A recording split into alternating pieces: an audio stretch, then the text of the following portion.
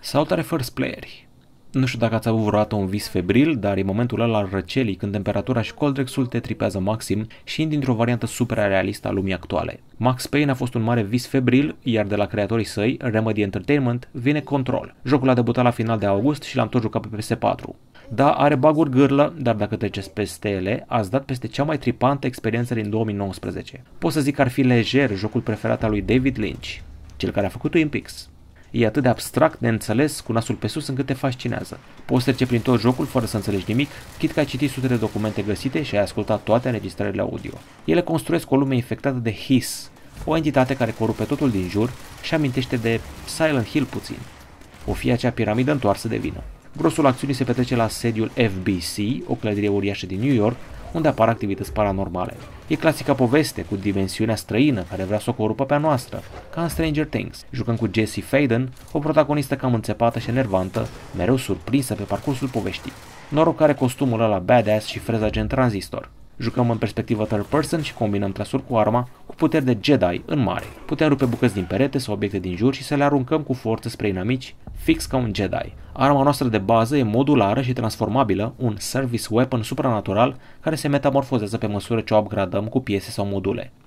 Jesse știe și levitație, telechineză și chiar a ajuns să controleze dinamicii.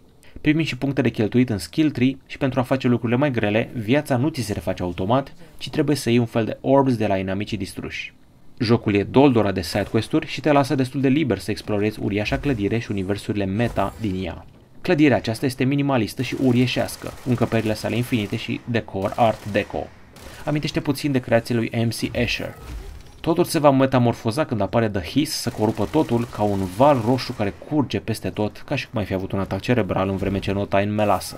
Angajații din The Oldest House, zgrienorul unde are loc acțiunea, sunt suspendați de tavan, plutesc corupți și auzim uneori țipând sau îngânând incantații. Știu, creepy creepy. Boss battle-urile se bazează foarte mult pe timing și vezi muri des, uneori frustrant de des, mai ales când un boss îți ia 90% din viață cu o piatră aruncată spre tine. Pentru a descrie metamorfozarea unui zgârie nord de Mad Men în acel univers his, aș compara experiența cu The Matrix meets lumea virtuală în care se antrena Solid Snake. Sunt cucerit de faptul că bătrânul meu PS4 din 2014 duce un joc în care poți levita aproape orice obiect din jur și să-l arunci cu precizie spre adversar. Mă rog, precizie mult spus. Totuși, când sunt mai mulți inamici pe ecran și facem acel strafe aerian repetat, se vede că totul sacadează rău și pică frame-urile direct în cap. Poate cel mai nervat aspect al jocului este harta, care îți indică puncte țintă, fără a preciza clar și etajul. Am pierdut ore bune la subsol, când trebuia să fiu de fapt în același punct, dar la alt etaj. Sunt și segmente cu level design haotic, în care mersul în cerc va deveni normalitate și te vei pierde neînțelegând ce trebuie să faci. Atenție! Complimentez arhitectura, dar critic level design-ul. Am remarcat și multe camere trase la Indigo și tot aruncând obiecte am văzut că și ele se cam repetă. Lazy, lazy game designers.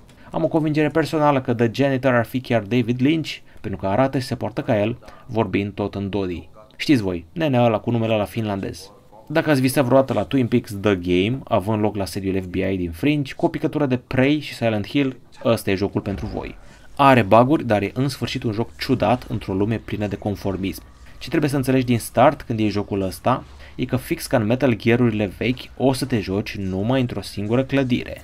Coridoare locuri închise, chit că vorbim de un zgârie nor imens.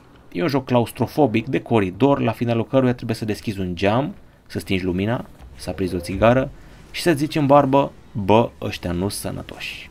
Un joc de nota 8 din 10 de la firstplay.ro